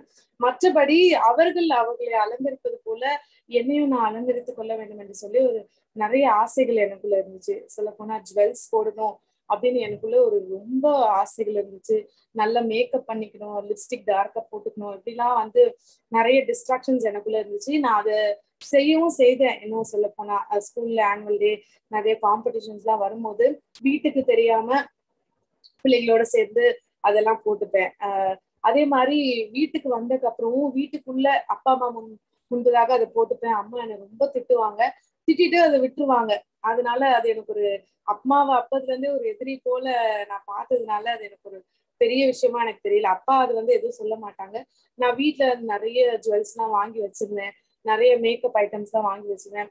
எனக்கு என்ன பயம்னா மற்ற விசுவாசிகளை என்ன பார்க்க கூடாது அவங்க ஒரு பாசு பொண்ணு இப்படி இருக்காங்களேன்னு சொல்லி என்ன நான் பண்ற காரியங்களை ஸ்ப்ரெட் பண்ணிடக்கூடாது அப்படிங்கிற ஒரு பயம் மாத்திரம் தான் எனக்குள்ள இருந்துச்சு. மற்றபடி அது அது அந்த காரியங்கள் எனக்குள்ள வந்து ரொம்ப ஆழமா இருந்துச்சு. அதை நான் நிச்சயமா செய்வேன். நான் ஒரு காலகட்டத்துல நான் இண்டிபெண்ட் ஆன பிறகு நான் நிச்சயமா காது குத்திப்பேன். நான் ஜுவல்ஸ் போட்டுப்பேன் அப்படின்னு சொல்லி ஒரு முடிவுல தான் நான் நிச்சயமா இருந்தேன். அந்த டிஸ்ட்ராக்ஷன்ஸ் எனக்கு நிச்சயமாகவே இருந்துச்சுங்க. சோ அதை எப்படி ஓவர் கம் பண்ணீங்க ஷிபா? நான் சொன்ன மாதிரி அம்மா வந்து திட்டுவாங்க பயங்கரமா என்ன இது? பிசாசு மாதிரி இருக்க ரட்சிக்கப்படாத பிள்ளை மாதிரி இருக்க அப்படின்னு சொல்லி பயங்கரமா திட்டுவாங்க. அந்த மாதிரி நிற்கும் போது அப்போ நான் வந்து அதெல்லாம் ஒண்ணும் கிடையாது அதெல்லாம் தப்பு கிடையாது அப்படின்னு சொல்லி எதிர்த்து நிற்பேன். அப்போ அம்மா சொல்லி சொல்லி சொல்லி விட்டுட்டாங்க. அது வந்து ஒரு பெரிய விஷயமா அவங்க எடுக்காம அப்படி விட்டுட்டாங்க. ஆனா அவங்களோட ஜெபத்துல அதை வந்து வச்சிருந்தாங்க. அம்மா ஆண்டவர் எனக்கு நல்ல ஒரு ஜெபிக்கிற தாயை கொடுத்திருந்தாங்க எனக்கு நினைவு தெரிஞ்ச நாள்ல இருந்து ஆஹ் இப்போ கடைசி நாட்கள் வரைக்கும் அம்மா வந்து முழங்கால நின்று இரவு முழுவதும் ஜெபிப்பாங்க. கண்ணீரோட ஜெபிப்பாங்க. ஆஹ் அப்படி அந்த- ஜபத்துல ஜெபத்துல என்னோட காரியங்களை அம்மா வச்சிருந்தாங்க. அப்போ நான் ஞானஸ்தானம் எடுக்கிற நேரம் வரும்போது எல்லா பிள்ளைகளும் எடுக்கிறாங்க. என் கூட இருக்கவங்க. எனக்கு பதினைந்து வயசு ஆயிடுச்சு. நானும் எடுக்கணும்னு சொல்லி நான் அதற்கு ஒப்பு கொடுக்கும் போது அந்த ஞானஸ்தானம் எடுத்த நாள்ல இருந்து அது மேல எனக்கு ஒரு ஒரு வெறுப்பு என்று சொல்றதை விட ஒரு அருவருப்பா அது எனக்கு தெரிய ஆரம்பிச்சிருச்சு. அம்மாவோட ஜெபம் தான் அதை செஞ்சிருக்கோம்னு நான் விசுவாசிக்கிறேன். அருவருப்பா தெரிஞ்ச அப்புறம் நான் ஞானஸ்தானம் எடுத்து அடுத்து கொஞ்ச நேரத்திலே என் கையாலே நான் அதை நான் வாங்கி வச்சிருந்த ஆசையா பார்த்து பார்த்து வாங்கி வச்சிருந்த எல்லாத்தையும் கொண்டு போய் நான் குப்பையில போட்டேன். இனிமே நான் இது தொட மாட்டேன் இதெல்லாம் ஒரு அருவருப்பு சீ அப்படின்னு சொல்ற மாதிரி ஆண்டவர் என்னோட இருதயத்தை மாற்றினாரு. அப்படிதான் நான் அதுல இருந்து வெளியே வர முடிஞ்சது என்னால. அப்போ உங்களுடைய ஃப்ரெண்ட்ஸோட மத்தியில எதிர்த்து நிக்க முடிஞ்சதா உங்களால? அப்போ அவங்களோட ஒத்து போக முடிஞ்சிருக்காது இல்லையா? அது எப்படி இருந்தது? ஆமா ஆமா. அப் அப்போல இருந்து நான் வந்து ஒரு தனியா ஒரு ஆள் மாதிரி தான் ஆயிட்டேன். அவரோட போவேன் பேசுவேன். ஆனா இந்த மாதிரி காரியங்கள் வரும்போது இல்ல நான் அதை செய்ய மாட்டேன். ஆனா நம்முடைய நம்ம வளர்ந்த காலகட்டங்கள்ல வந்து கிறிஸ்டியன்ஸ்னா இதெல்லாம் செய்ய மாட்டாங்க அப்படின்னு ஒரு காரியம் இருந்துச்சுக்கா. அவங்க வந்து படைக்கப்பட்டது சாப்பிட மாட்டாங்க வெளியே வர மாட்டாங்க சினிமா பார்க்க மாட்டாங்க அப்படின்னு ஒரு இது இருந்ததுனால பிள்ளைங்க வந்து என்ன என்ன வந்து விட்டுட்டாங்க. இவ கிறிஸ்டியன் பாசு போடுனதுனால ஆனா இப்போ அப்படி கிடையாது. இதுல இதுல என்ன தப்பு இருக்கு அப்படின்னு சொல்லி வருகிற ஒரு ஜெனரேஷன்ல நம்ம இருந்துட்டு இருக்கோம். அந்த நாட்கள் அது அப்படி இருந்தனால பிள்ளைகள் எனக்கு ரொம்ப ஒதுக்கல. நான் ஒரு அது அது விட்டுட்டு வெளியே வந்துட்டேன்க்கா. அது எனக்கு கம்ஃபர்டபுளா ஆயிடுச்சு அந்த ஒரு இடம் எனக்கு. சோ அப்பா அம்மா ஜுவல்ஸ் போடாம இந்த மாதிரி உலக பிரகாரமான அலங்காரம் கர்த்தருக்கு பிடிக்காதுன்னு சொல்லி உங்களை வளர்த்திருந்தும் அந்த பியர் ப்ரெஷர் தாங்காம இந்த ஸ்கூல் நாட்கள்ல பிளஸ் வீட்லயும் ரொம்ப ஒரு திணிப்பு இந்த ஸ்பிரிச்சுவல் காரியங்களை இருக்கவும் ஆஹ் இந்த காரியங்களை துணிஞ்சு நீங்க வந்து நீங்க செய்வீங்க. பிளஸ் ஒரு இண்டிபெண்டா வரும்போது இந்த காரியங்களை கண்டிப்பா நான் செய்வேன் அப்படின்றத உங்களுடைய லைஃப்குள்ள ஜெபம் வந்து தன்னால யாருடைய திணிப்பும் இல்லாம இப்பேற்பட்ட ஒரு மாற்றத்தை ஆஹ் கொடுத்திருக்கிறது உண்மையாவே இது பார்த்துட்டு இருக்க ஒரு ஒரு வாலிப பிள்ளைகளுக்கும் ஒரு சேலஞ்சாக ஒரு சவாலாக ஒரு சாட்சியா அமையும் அப்படின்னு சொல்லி நான் கத்துருக்கல சோ அதை வந்து நீங்க வேண்டான்னு ஒதுக்குனதை விட அது சீன்னு சொல்லி நீங்க தூக்கி போட்டேன் அப்படின்னு சொல்லும் பொழுது உண்மையாக that word carries a lot of weightage so உண்மையாகவே பார்க்குற ஒவ்வொருவருக்கும் ஒருவேளை இது போன்ற ஒரு பாதையில இன்றைக்கும் ஆவிக்குரிய குடும்பத்துல வளருகிற சிறு பிள்ளைகள் இருந்திருக்கலாம். சோ தொடர்ந்து உங்களுடைய காலேஜ் நாட்கள்ல ஆஹ் உங்களுடைய அந்த ஆண்டரோட அந்த பர்சனல் ரிலேஷன்ஷிப் நீங்க பில்ட் பண்ண பிறகு நீங்க காலேஜ்க்கு போறீங்க. அங்க ஷோபி ஷோபி கேட்டது போல அங்க உங்களால டெஸ்டிஃபை பண்ண முடிஞ்சுதா? ஸ்கூல் நாட்கள்ல முடியல பட் அந்த நாட்கள்ல ஆஹ் உங்களால ஆண்டரை பத்தி உங்க ஃப்ரெண்ட்ஸ் மத்தியில சாட்சியா நிற்க முடிஞ்சுதா? ஆமா காலேஜ் வந்து ஒரு டிஃப்ரெண்டான ஒரு பிளேஸா இருந்துச்சு. அது வந்து ஒரு பயங்கரமான ஒரு இந்து காலேஜ் பிள்ளைங்க எல்லாம் வந்து அங்க நடக்கிற காரியங்களை நல்லா என்ஜாய் பண்ணாங்க. ஆண்டவர் ஆனா எனக்குன்னு ஒரு செட் ஆஃப் ஃப்ரெண்ட்ஸ் வச்சிருந்தாங்க. அதுல இருந்து அதுல பிரியப்படாம அந்த ஒரு கிறிஸ்டியன் ஒரு செட் ஆஃப் ஃப்ரெண்ட்ஸ் எனக்கு காலேஜ்ல தான் ஸ்கூல்ல கூட எனக்கு அப்படி அமையல. ஆனா காலேஜ்ல ஆண்டவர் நல்ல ஒரு ஆவிக்குரிய ஃப்ரெண்ட்ஸ் கொடுத்ததுனால அதுல இருந்து என்னால ஒரு ஒரு டீமா அதுல இருந்து வெளியே நிற்க முடிஞ்சது. அது போல அது எப்படி சொல்றது அந்த நாட்கள் வந்து நோ துப்பட்டா கல்ச்சர் அது. பிள்ளைங்க வந்து வெறும் டாப் மட்டும் போட்டுட்டு வருவாங்க. துப்பட்டா போட மாட்டாங்க. ஆனா என்னோட வீட்டுல எப்படின்னா துப்பட்டா பின் பண்ணி போடணும். அப்படி அம்மா வளர்த்ததுனால ஆஹ் அந்த பிள்ளைகள் வந்து எங்களை ஏளனமா பேசினாங்க. ஆனா அதெல்லாம் ஆண்டவர் தாங்கிக்கொள்ள உதவி செஞ்சார். நாங்க வந்து நாங்க காலேஜ் ஃப்ரெண்ட்ஸோட பேசுற காரியங்களே பாத்தீங்கன்னா ஆவிக்குரிய காரியங்களா தான் இருக்கும். ஆஹ் மற்றவங்க பார்க்கும்போது என்ன இதெல்லாமா பேசிட்டு இருப்பீங்க? சண்டே தான் சர்ச் போறீங்க.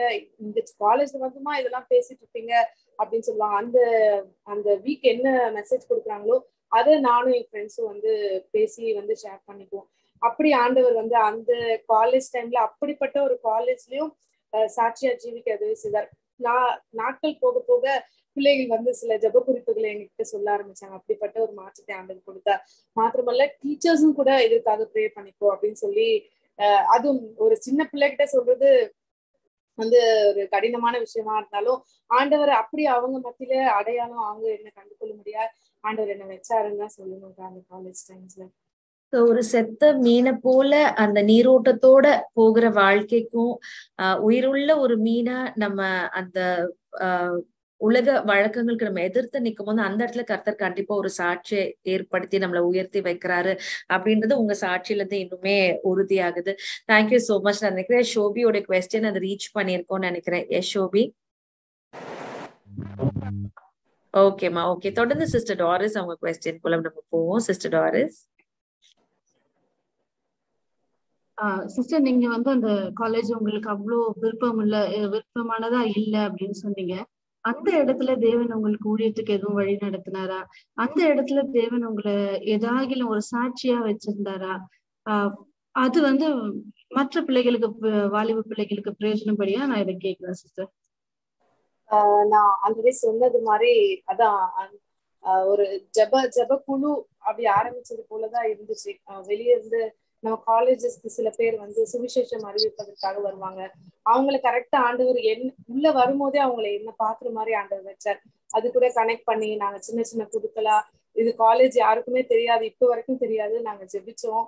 அநேகருக்காக ஜெபிச்சோம். முடிஞ்ச அளவுக்கு சுவிசேஷம் அதாவது பிள்ளைங்க கஷ்டத்தோட இருக்கும்போது போய் சொல்றதுக்கு ஆண்டவர் எங்களுக்கு தைரியம் கொடுத்தார். ஸ்கூல் டைம்ஸ்ல டோட்டலா நான் டிஃப்ரெண்டான ஒரு பர்சன் நான் அது வந்து ஒரு பாசு பொண்ணுன்னு சொல்லிக்கிறதுக்கு இத்தனைக்கும் நான் ஒரு பென்டிகாஸ்டல் ஸ்கூல்ல படிச்சேன். அதுலயுமே வந்து நான் சொல்லிக்க தயங்கின அது ஒரு காலகட்டம். ஆனா காலேஜ்ல இப்படி ஒரு இந்து காலேஜ்ல இருக்கும்போது ஆண்டவர் வந்து ஆஹ் ஒரு சாட்சியா அங்க நிறு- நிறுத்தினாருன்னு தான் சொல்லணும் அந்த ஃப்ரெண்ட்ஸ் மத்தியில மற்றவர்களுக்காக ஜெபிப்பது ஆவிக்குரிய விஷயங்களை ஷேர் பண்ணது மூலமா ஆண்டவர் என்னை வந்து மற்றவர்கள் இடத்துல பிரித்து வைத்தார். சாட்சின்னு சொல்லும் போது ஆஹ் அதான் நம்ம ஜெபிப்போம் அவங்களுக்கு ஏதாவது ஆண்டவர் அற்புதம் செய்வார். இந்த மாதிரி நிறைய நடந்திருக்கு. அந்த மாதிரி ஆண்டவர் அந்த நாட்டிலே பயன்படுத்தினார்.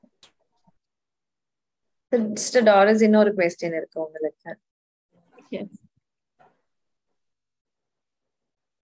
சிஸ்டர் uh, இதுக்கப்புறமா காலேஜ் போனீங்க வேலைக்கு போனீங்க அப்புறம் எப்படியும் திருமணம் வீட்டுல வீட்டுல பேசியிருப்பாங்க இல்லையா? அப்படி இருக்கும் பொழுது தேவனுடைய சித்தத்தை எப்படி அறிந்தீங்க?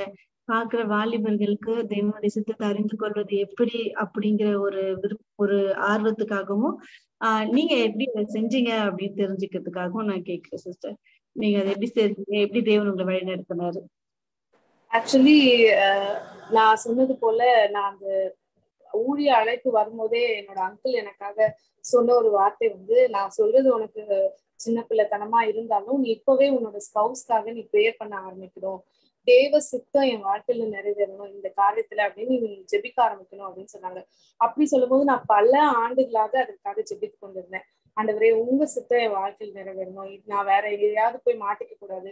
என்னுடைய விருப்பத்தின்படி என்னுடைய பெற்றோர் விருப்பத்தின்படி உமக்கு சித்தமில்லாத ஒரு காரியத்துல நான் போய் மாட்டிடக்கூடாதுன்னு சொல்லி நான் அதற்காக வந்து ஆஹ் தொடர்ந்து என்னோட ஜபத்துல அது நிச்சயமா அந்த ஒரு காரியம் இருந்துட்டே இருந்துச்சு. அத அந்த காலேஜ் ஜாயின் பண்றதுக்கு முன்னாடில இருந்தே அந்த காரியத்துக்காக நான் ஜெபித்து கொண்டே இருந்தேன். அப்போ அந்த திருமணம் என்கிற ஒரு இது வரும்போது நிறைய அலையன்ஸ் வந்துச்சு. ஒரு நல்ல ஒரு பிரபலமான ஒரு ஊழியர் அவங்க ஃபேமிலில இருந்து ஒரு அலையன்ஸ் வந்துச்சு. அப்பா அம்மாவுக்கு அவங்களோட தோற்றத்தெல்லாம் பார்த்து பிரியம் இல்லாம இருந்துச்சு. எப்படி நம்ம பிள்ளை எப்படி கொடுக்கறது அப்படின்னு சொல்லி.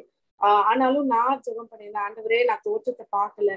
இது உங்க சித்தமா இருந்தா நான் பிளைண்டா அதை வந்து நான் செய்வேன்.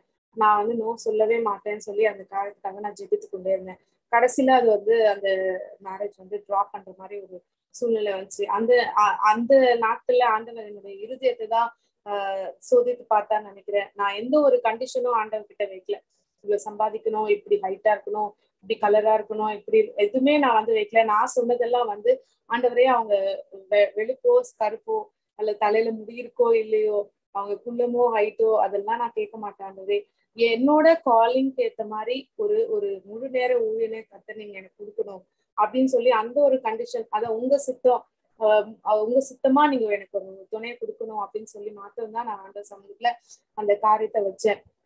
அது போலவே நீங்க வேண்டிக் கொள்வதற்கும் நினைப்பதற்கும் அதிகமாய் செய்கிற தேவன் எனக்கு அதுக்கு எல்லா காரியங்களிலும் எனக்கு ஏற்ற ஒரு கணவனை ஆண்டவர் எனக்கு கொடுத்தார். அந்த திருமண காரியங்கள்ல கூட அநேக எல்லா வெட்டிங்ஸ் வர மாதிரி நிறைய பிரச்சனைகள் இருந்துட்டே இருந்துச்சு. அப்போ நான் எல்லாவற்றும் தேவ சமூகத்துல வைக்க பழக்கப்பட்டதுனால நான் அந்த பிரச்சனைகள் எல்லாம் வந்து நான் அம்மா அப்பாவோட ஷேர் பண்றதை விட நான் தேவ சமூகத்துல என்னோட ஃப்ரெண்ட்ஸ் கிட்டயும் என்னால ஷேர் பண்ண முடியாது. நான் எல்லாத்தையும் தேவ சமூகத்துல இருக்கும்போது ஆண்டவர் ரிப்பீட்டடா ஒரு ஒரு வார்த்தை எனக்குள்ள பர்சனலா எனக்கு கொடுத்தாங்க. அடுத்த நாள் சண்டே சர்வீஸ்லயும் எனக்கு அதே வார்த்தை வந்துச்சு. எஸ்தர் சொன்னது போல காரியங்களை மாறுதலாய் முடிய பண்ணுவேன் என்று சொல்லி.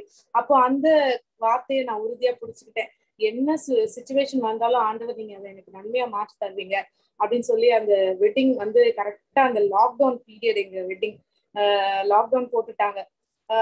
நிறைய ஆசை இருந்துச்சு. நம்ம கல்யாணம் அப்படியெல்லாம் பண்ணணும் அப்படின்னு எல்லாத்துக்கும் ஒரு ஃபுல் ஸ்டாப் வச்ச மாதிரி ஆயிடுச்சு. ரெண்டு மூணு டேட்ஸ் தள்ளி தள்ளி போச்சு. இப்போ வைக்கலாம் அப்போ வைக்கலாம் லாக்டவுன் முடியும் அப்படின்னு சொல்லி. ஆனா போக போக இன்னும் ரெஸ்ட்ரிக்ஷன்ஸ் ஜாஸ்தியா தான் ஆச்சே தவிர அது குறைக்கிற மாதிரி இல்லை. அந்த டைம்லயும் வந்து நாங்க எல்லாத்தையும் வந்து இது தேவ சித்தம் ஆண்டவர் எப்படியாவது இது செய்வார் என்று சொல்லி வை அது தேவ சமூகத்தை வச்சுட்டே இருந்தோம். எங்களோட வெட்டிங் பாத்தீங்கன்னா ரொம்ப வித்தியாசமான ஒரு wedding Basu Thomas Raj uncle அவங்களோட சபையில தான் அவங்க மாத்திரம்தான் அந்த டைம்ல வெட்டிங் ஃபியூனரல் சர்வீஸ் அதெல்லாம் பண்ணிட்டு இருந்தாங்க. ஸோ அவங்கள நாங்க அப்ரோச் பண்ணும்போது அவங்க நிச்சயமா பண்றேன். ரெண்டு ஊழியக்கார பிள்ளைகளோட திருமணம் நான் கண்டிப்பா நான் செய்வேன் அப்படின்னு சொல்லி ரெண்டு பேர் வீட்லயும் ஐம்பது ஐம்பது பேர் தான் வந்து அலோவ் பண்ணாங்க. அவங்கள அவங்களோட ட்ரெஸ் நாங்களே எடுத்துக்கிட்டோம். என்னோட சாரி நானே எந்த ஒரு ஒரு வெட்டிங்ல ப்ராப்பரா என்னெல்லாம் நடக்கணுமோ அதெல்லாம் வந்து எங்க வெட்டிங்ல வந்து இல்ல. வித்தியாசமான ஒரு வெட்டிங் இருந்துச்சு. வெட்டிங்குமே கூட ஸ்ட்ரெயிட்டா போனதுமே எந்த ஒரு வேர்ஷிப்பு அது இது எதுவுமே இல்லை. ஸ்ட்ரெயிட்டா வேர்ட் தான்.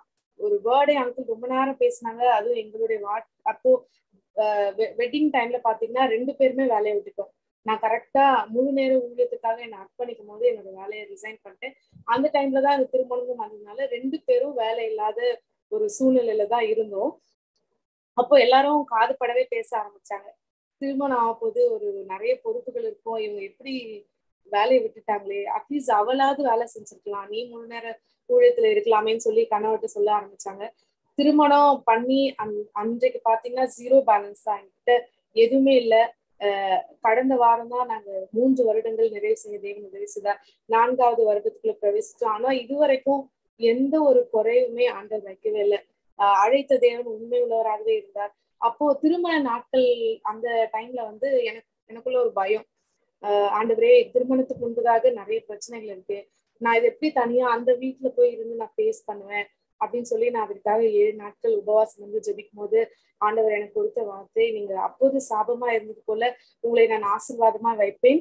நான் உங்களை ரட்சிப்பேன். பயப்படாதீங்கள் உங்கள் கைகள் திடப்பட கடவுது அப்படின்னு சொல்லி ஒரு வார்த்தை வந்து ஆண்டவர் எனக்குள்ள ரொம்ப உறுதியா கொடுத்ததுனால அதை பிடிச்சிட்டு ஆண்டவரே நீங்க எனக்கு சாப்பாடு கொடுத்தாலும் சரி கொடுக்காட்டாலும் சரி நீங்க என்ன ஆசீர்வதிச்சாலும் சரி ஆசீர்வதிக்காவிட்டாலும் சரி நான் இந்த காரியத்துல உங்க கருத்தை மாத்த பிடிச்சிட்டு நான் திருமண வாழ்க்கையில போறேன். அப்படின்னு சொல்லி நான் உறுதியா தேவ சித்தத்துல நிக்க ஆண்டவர் எனக்கு உதவி செய்தார். ஆஹ் இதுதான் என்னுடைய திருமண சாட்சி. சிஸ்டர் டாரிஸ் ரீச் பண்ணியிருக்கோம். எப்படி அவங்க ஆண்டோடைய சித்தத்துக்குன்னு ஒப்பு கொடுத்தாங்க அப்படின்றது. சிஸ்டர் டாரிஸ் கேட்டது போல Sheba would you like to give one word of advice for children who are preparing for marriage திருமணத்துக்காக ஆயத்தமாயிட்டு இருக்க பிள்ளைங்களுக்கு ஒரு வார்த்தை ஒன் லைன்ல நீங்க சொல்லணும்னா what would you like to say எந்த ஒரு கண்டிஷனும் வைக்காதீங்க. அதுதான் சொல்லுவேன். எந்த ஒரு எக்ஸ்பெக்டேஷனும் வைக்காதீங்க. இப்படிதான் இருக்கணும் அப்படிதான் இருக்கணும். அது வந்து தேவ சித்தத்துக்குன்னு ஒப்பு கொடுக்கும் போது அவர் கொண்டு கொண்டு வருகிற வாழ்க்கை துணை உங்களோட எக்ஸ்பெக்டேஷன்ஸை விட அதிகமா இருக்கும். அதை நான் ருசிச்சு பார்த்திருக்கேன். அந்த மாதிரி நீங்க எந்த ஒரு எக்ஸ்பெக்டேஷனும் வைக்காம உங்க சித்தம் நான் பிளைண்டா நம்புற ஆண்டவரே அப்படின்னு போனீங்கன்னா அது ரொம்ப ஆசீர்வாதமா ரொம்ப சமாதானமா இருக்கும்.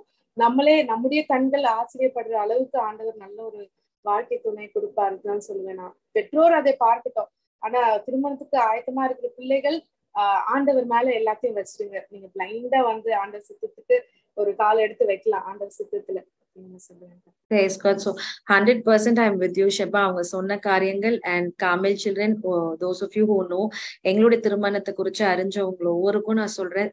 Complete surrender to God's will will give the best family life ever possible so Sheba சொன்னது போல த்ரீ இயர்ஸ் ஆஃப் மேரேஜ் அவங்க கம்ப்ளீட் பண்ணியிருக்கிறாங்க. அண்ட் ஆண்டர் அவங்களை அபிர்விதமா ஆசிர்வாதத்துக்கு மாத்திரம் இல்ல மற்றவங்களுக்கும் ஆசிர்வாதமா வைத்திருக்கிறாங்க. And by God's grace we've completed sixteen years of marriage hundred percent God's will I'm telling you God is keeping as a blessing. God is blessing us and keeping us a blessing to others. So பார்த்துட்டு இருக்க வாலிபு பிள்ளைகளுக்கு நாங்க ரெண்டு பேரும் சேர்ந்து சொல்ற ஒரு காரியம் ஜெபிங்க. உங்க லைஃப் பார்ட்னர்ஸ்க்காக ஜெபிங்க. Whatever age you are twelfth standard college படிக்கிறீங்க. Start praying for your few for your life partner and absolute surrender எந்த விதமான கண்டிஷனும் வைக்காம உங்க லைஃப் ஆண்டர் கருத்துல ஒப்பு கொடுத்தீங்கன்னா ஏற்ற வேலையில கர்த்தர் வந்து ஆதாமுக்கான ஏவாள கர்த்தர் கூட்டி சேர்ப்பார். அருமையான ஒரு ஆசிர்வாதமான ஒரு வாழ்க்கையை கர்த்தர் கொடுப்பார்.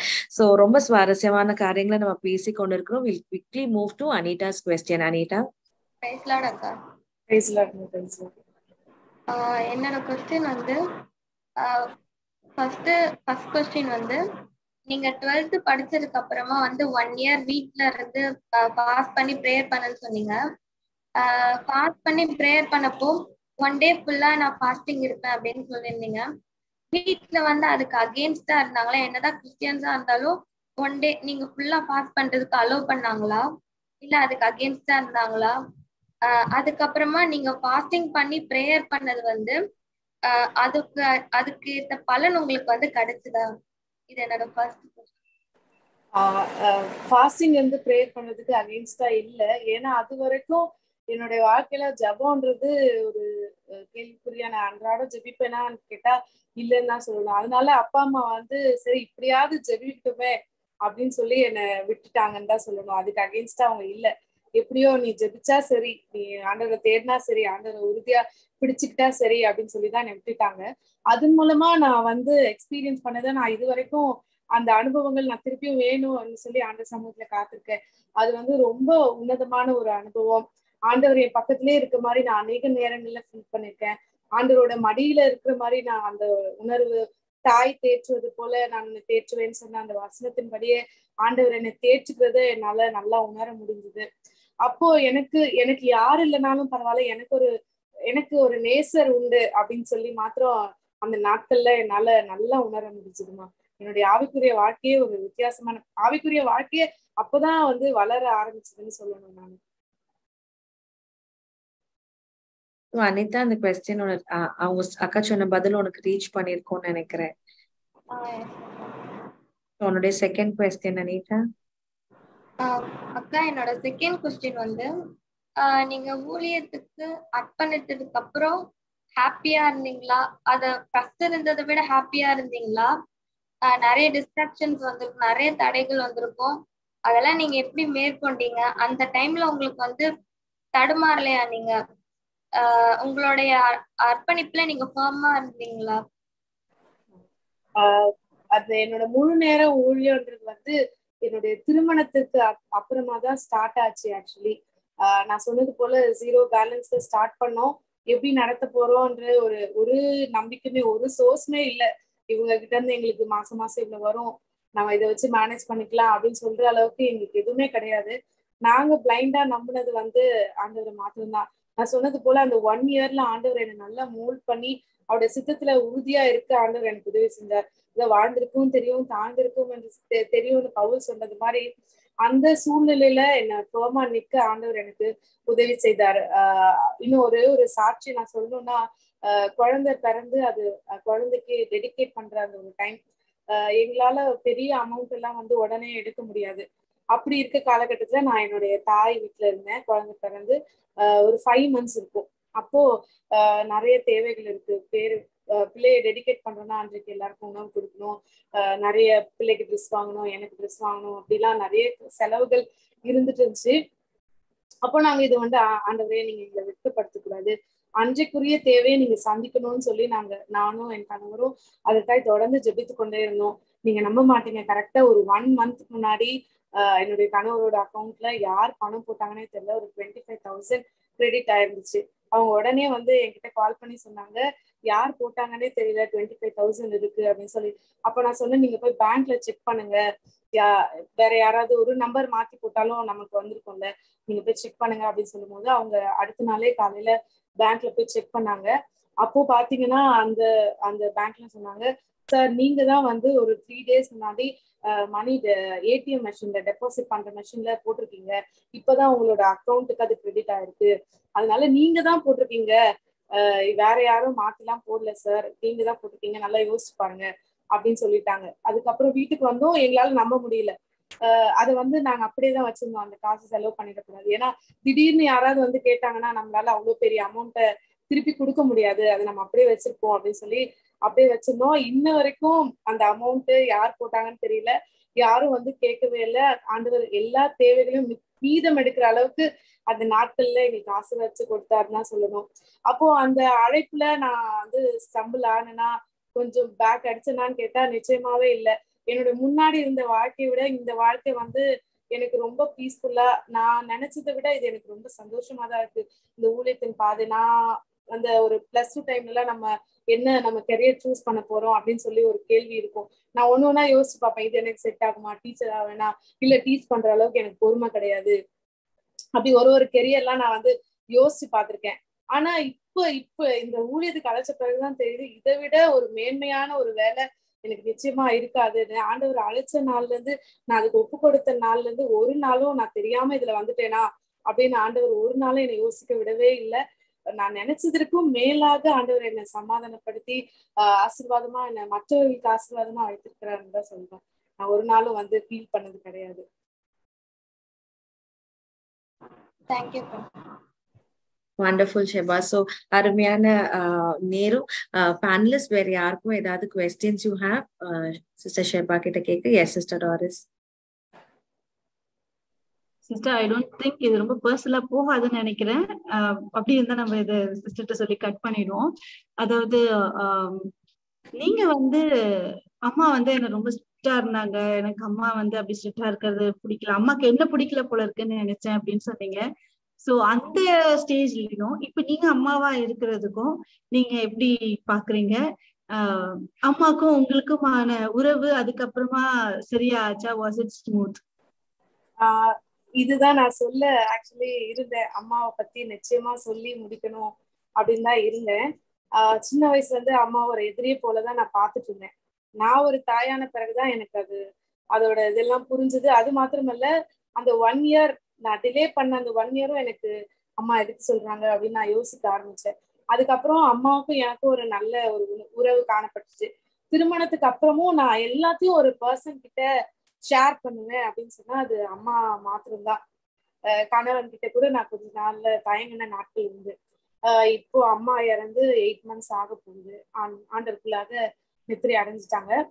ஆஹ் இது ஒரு அஸ் ஒரு ஒரு டாட்டரா எனக்கு ஒரு மிக மிகப்பெரிய இழப்பு. ஏன்னா தாயை யாரும் இழக்க வந்து விட்டு கொடுக்க மாட்டோம். ஆனா ஆண்டவர் வந்து சாரி ஒவ்வொரு நாளும் ஆண்டவர் வந்து தேய்ச்சி நடத்துறாருன்னா சொன்னோம் ஒரு கடைசி நாட்கள்ல அம்மா வந்து எனக்கு ஊழியத்தை குறிச்சு அநேக ஆஹ் நிறைய சொல் காரியங்களை சொல்ல ஆரம்பிச்சாங்க. ஏன் அப்படி சொன்னாங்கன்னு இது வரைக்கும் எனக்கு தெரியல. நீ வந்து பிரசங்கம் பண்றனால மற்றவர்கள் உன்னை பாராட்டும் போது நீ ஒன்னும் உயர்த்தக்கூடாது இன்னும் தாழ்த்தணும். தேவ சமூகத்தை தாழ்த்தணும். பரலோக ராஜ்யத்தை குறித்து. சாரி பரலோக ராஜ்யத்தை குறித்து நீ எப்பவும் அது மேலதான் உன்னோட நாட்டம் இருக்கணும். எது மேலேயும் ஒரு பிடிப்பு இருக்க கூடாது அப்படின்னு சொல்லி கடைசி நாட்கள்ல அதிகமா அதை குறி குறிச்சு வந்து அவங்க சொல்ல ஆரம்பிச்சாங்க. அவங்க அவங்க மரணம் பாத்தீங்கன்னா ஒரு ஒன் ஹவர் முன்னாடி கூட என்கிட்ட நல்லா பேசினாங்க. வீட்டுல எங்க எல்லாரும் விசாரிச்சாங்க.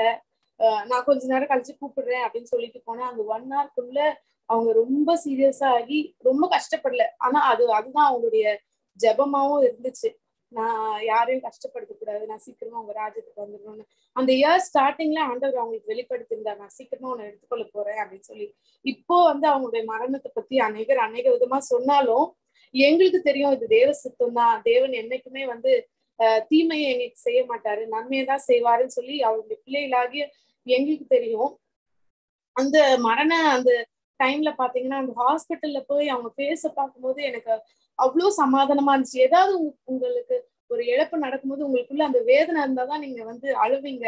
அதை வெளிப்படுத்தணும் நீங்க முயற்சிப்பீங்க. ஆனா உள்ள அவ்வளோ சமாதானமா இருக்கும்போது எல்லாரும் அழுகுறாங்க ஆனா உங்களுக்குள்ள அவ்வளோ சமாதானம் இருக்கும்போது அதை எப்படி வெளிப்படுத்துறதுன்னு தெரியல. ஆண்டவர் அவ்வளவு சமாதானத்தை கொடுத்தாரு. அம்மா பத்தி நினைக்கும் போது சந்தோஷமா இருக்கு சமாதானமா இருக்கு. அவங்க சமாதானத்துக்குள்ள பாக்கியமான மாறி இருக்காங்க முந்தி கொண்டாங்க அப்படின்னு நினைக்கும் போது சந்தோஷமா இருந்தாலும் அம்மாவை நான் நிச்சயமா வந்து மிஸ் பண்றேன். ஏன்னா ஆவிக்குரிய காரியங்களை ஷேர் பண்றதுக்கு குடும்ப காரியங்களை ஷேர் பண்றதுக்கு ஒரு தாய் எனக்கு இல்லையே அப்படின்னு சொல்லி நான் வந்து அப்படிலாம் நான் ஜெபிக்கும் போது வேதத்துல இப்படி ஒரு வார்த்தை இருக்கான்னு எனக்கு தெரியல. ரொம்ப உடஞ்சு ஒரு நாள் தேவ சமூகத்தை காத்திருக்கும் போது ஆண்டவர் சொன்னார் நான் உன்னை பத்திரமாய் பார்த்துக் கொள்வேன் என்று சொல்லி. இறைமைய நாற்பது நாள்ல. அது முன்னாடி பின்னாடி என்ன இருக்குன்னு எனக்கு தெரியாது. ஆனா இந்த ஒரு வார்த்தை என்னை ரொம்ப தேய்ச்சிச்சு அப்போ அம்மா கிட்ட நான் ஷேர் பண்றது மாதிரி ஆண்டவர் கிட்ட எல்லாத்தையும் நான் எனக்கு வேற யாருமே இல்லை. அப்போ நான் ஆண்டவர் மாத்திரம்தான் சொல்லி எல்லாத்தையும் அவர்கிட்ட ஷேர் பண்ண ஆரம்பிச்சேன். அம்மா என்னை எப்படி செக்யூரா சேஃபா எனக்கு என்னெல்லாம் கரெக்டா இருக்கும்னு அம்மா வச்சாங்களோ அது போல ஆண்டவர் என்னை பத்திரமா பார்த்து கொள்வார் என்று சொல்லி ஒரு விசுவாசம் எனக்குள்ள ஆழமா காணப்பட்டுச்சு அது மாத்திரமல்ல அம்மா இறந்ததுக்கு அப்புறமா நான் ஒரு நாள் ஆஹ் பல்லவ ராஜ்யத்துக்கு போய் பார்ப்பேன் இருந்ததை விட நான் இயேசுல நானும் அம்மா மாதிரி போகணும் அம்மா மாதிரி போகணும் அப்படின்னு சொல்லி ஒரு உணர்வு எனக்குள்ள வர ஆரம்பிச்சிச்சு. அம்மாவுக்கு எது மேலேயும் ஒரு நாட்டம் கிடையாது. எனக்கு அப்போ இரண்டு பிள்ளைகள் இருக்காங்க. இன்னும் திருமணம் ஆகல. எனக்கு மட்டும்தான் திருமணம் ஆயிருக்கு. ஒரு தாயா அவங்க இறக்குற நிலைமையில அவங்க போராடி இருக்கலாம். ஏன்னா அநேக காரியங்களும் அவங்க போராடி மேற்கொண்டிருக்காங்க.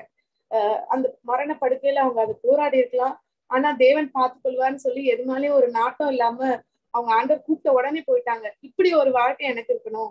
நான் எது மேலேயும் ஒரு நாட்டம் வைக்க கூடாதுன்னு சொல்லி அம்மா அப்ப சொன்ன காரியங்களை நான் யோசி பார்த்து யோசி பார்த்து என்னுடைய ஆவிக்குரிய வாழ்க்கையில நான் மாற்றி கொண்டே இருக்கிறேன். என்னுடைய பிள்ளையையும் நான் அப்படி வளர்க்கணும்னு சொல்லி நான் பிரயாசப்படுறேன் சிஸ்டர் வண்டர்ஃபுல் டெஸ்டிமெனி ஸோ ஆக்சுவலா முடிக்க முன்னாலே even I wanted to ask Sheba ஒரு இழப்ப as a child of God how should we நம்ம எப்படி எதிர்கொள்ளணும்? ஒரு இழப்பை நம்ம எப்படி எதிர்கொள்ளணும்? ஸோ அந்த கேள்விக்கும் அழகா பதில் சொன்னீங்க. அண்ட் சிஸ்டர் டாரஸோட கேள்விக்கும் அது ரீச் சிஸ்டர் நினைக்கிறேன்.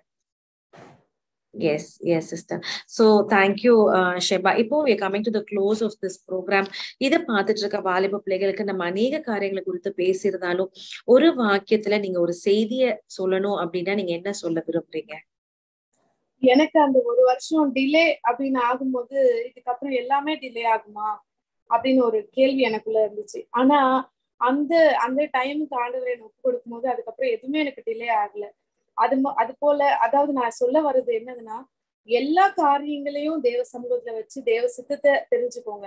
மற்றவர்கள் ஜெபிச்சு சொல்ல வேண்டும் என்று சொல்லி அப்படி விரும்புறதை பார்க்கலாம்.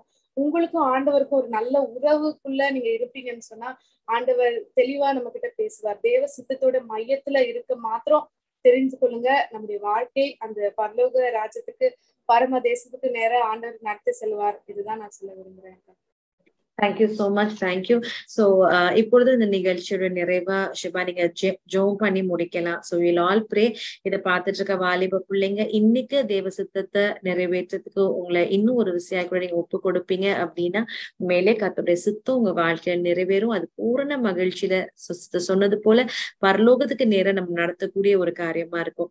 நம்ம எல்லாருடைய ultimate goal is to reach Jesus ஜீசஸை நம்ம ரீச் பண்ணணும்ன்றத நம்ம அல்டிமேட் கோல் ஸோ இந்த நாட்கள்ல உலகத்துல இருக்க காரியங்கள் நம்ம பின்பாக இருக்கிற காரியங்கள் சிஸ்டர் சொன்னது போல அதை சீ என்று உதறி விட கர்த்தர் நமக்கு கிருப கொடுக்கணும். ஒரே ஒரு வார்த்தை சொல்லி நம்ம ஜெபிப்போம். ஆண்டவரே உங்க சித்தம் என் லைஃப்ல நடக்கட்டும் சொல்லி அப்படி ஒப்பு கொடுக்க விரும்புறவங்க இப்ப எங்களோட கூட சேர்ந்து ஜெபிக்கலாம். சிஸ்டர் நம்ம ஜெபத்துல நடத்துவாங்க. தகப்பனே இந்த ஆசீர்வதிக்கப்பட்ட நாளுக்காக நன்றியோடு ஸ்தோத்திரிக்கிறோம் அப்பா. அப்பா இவ்வளவு நேரமும் அந்த அந்த என்னுடைய வாழ்க்கையில நீ செய்த காரியங்களை அப்பா பிள்ளைகளோட அக்காவோடு பகிர்ந்து கொள்ள முடியாத கத்தனை கொடுத்து அந்த நல்ல கிருபைகளுக்காய் நன்றியோடு ஸ்தோத்திருக்கிறேன் ஆண்டவரே வேதத்திலே சொல்லப்பட்டது போல கத்தருக்கு பயந்து பயந்து பயப்படுகிறவர்கள் ஒருவரோடு ஒருவர் பேசிக்கொள்வார்கள் கத்தர் அதை கவனிப்பார் என்று சொல்லப்பட்ட வார்த்தையின்படி கத்தாவை நாங்கள் பேசின ஒவ்வொரு வார்த்தைகளும் கத்தனை கவனித்திருக்கிறீர் ஆண்டவரே அப்பா.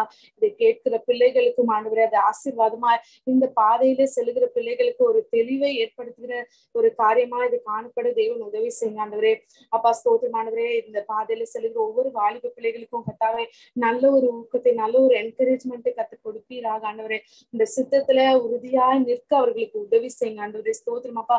இந்த வாலிப நாள்ல கத்தாவே ஸ்தோத்திரம். எதிர்நீச்சல் போட்டு கத்தாவை உமக்கு பிரியமாய் வாழ உங்களுடைய சித்தத்தை மாற்றம் செய்ய ஒவ்வொரு பிள்ளைகளும் கத்துற அதிகமான கிருபைகளை தருவீராக ஆண்டவரே. அப்பா ஸ்தோத்திரம் ஆண்டவரே. இந்த கடைசி நாட்களிலே மற்ற பிள்ளைகளுடைய பேச்சுகளை பார்த்து ஆண்டவரே மற்றவர்களுடைய வாழ்க்கை தரத்தை பார்த்து கத்தாவே வஞ்சிக்கப்பட்டு போகாத உள்ளபடி கத்தாவே தனக்கு போதிக்கப்பட்ட சத்தியத்திலே நிலைத்து நிற்க ஒவ்வொருவருக்கும் கத்திர உதவி செய்ய வேண்டுமாய் நாங்கள் ஜெபிக்கிறோம் ஆண்டவரே. அப்பா ஸ்தோத்திரம் ஆண்டவரே. என்னைய கத்தாவே நீர் ஊழியத்துல ஆண்டவரே அநேகருக்கு ஆசீர்வாதமாய் வைத்தது போல ஆண்டவரே. அப்ப இதை பார்த்து கொண்டிருக்கிற ஒவ்வொரு பிள்ளைகளையும் கத்திர ஆசீர்வாதமாய் வைக்க முடியாது ஜெபிக்கும் அநேகருக்கு அவர்கள் சாட்சி பகிரத்தக்கதான ஒரு ஜீவியத்தை கத்திர ஒவ்வொருவருக்கும் கொடுப்பீராக ஆண்டவரே. இன்னும் ஒரு படி பரிசுத்தம் இன்னும் ஒரு படி ஆண்டவரே ஸ்தோத்திரம். அப்ப நீதி உள்ள ஒரு ஜீவியம் செய்ய ஒவ்வொருவருக்கும் நீ உதவி செய்ய முடியாது ஜெபிக்கும் ஆண்டவரே. இது எல்லாவற்றுக்கும் மேலாக உடைய நாம மாத்திரம் மகிமைப்படட்டும் ஆண்டவரே. எல்லா துதி கன மகிமை உமக்கு ஒருவருக்கே செலுத்துகிறோம். இயேசு கிறிஸ்துவின் நாமத்தில் எங்கள் ஜெபிக்கிறோம். ஜீவனுள்ள நல்ல பிதாவே. ஆமே ஆமேன் ஆமேன் ஆமேன். Praise Lord thank you so much Sheba உங்களுடைய நேரத்தை எடுத்து especially you have a small child but still நேரம் எடுத்து எங்களோடு கூட வந்து உங்க அனுபவ சாட்சி நீங்க பகிர்ந்ததுக்காக ரொம்ப நன்றி. தேங்க் ஆல் தி பேனலிஸ்ட் சபையின் சார்பில் எங்களுடைய வாழ்த்துக்களை உங்களுக்கு நாங்க தெரிவித்துக் கொள்கிறோம். இதே யூடியூப் வாயில பார்த்துட்டு இருக்கவங்க ஒவ்வொருவருக்கும் இந்த நிகழ்ச்சி ஆசீர்வாதமா இருந்திருக்கும் அப்படின்னு கருத்துக்குள்ள நாங்க விசுவாசிக்கிறோம். கடந்த எபிசோட் செவன்டி எபிசோட் சிஸ்டர் ஷெபாவுடைய கணவர் பாஸ்டர் சாமியல் ஜான் அவங்க அனுபவ சாட்சிகளை நம்ம கூட பகிர்ந்து கொண்டிருந்தாங்க. ஸோ யாராவது மிஸ் பண்ணியிருந்தீங்கன்னா கீழே டிஸ்கிரிப்ஷன் பாக்ஸ்ல அந்த லிங்க் கொடுக்கப்பட்டிருக்கு. அந்த சாட்சிகளை நீங்க பார்த்து பயனடையலாம். கர்த்தருக்கு சித்தமா இருந்தா மீண்டும் அடுத்த வாரம் நம்மளுடைய செவன்டி செகண்ட் எபிசோட்ல இன்னொரு தெய்வ ஊழியருடைய சாட்சியோடு கூட உங்களை நாங்க சந்திக்கிறோம். அது வரைக்கும் உங்களிடமிருந்து நாங்க விடைபெறுகிறோம். Thank you and God plus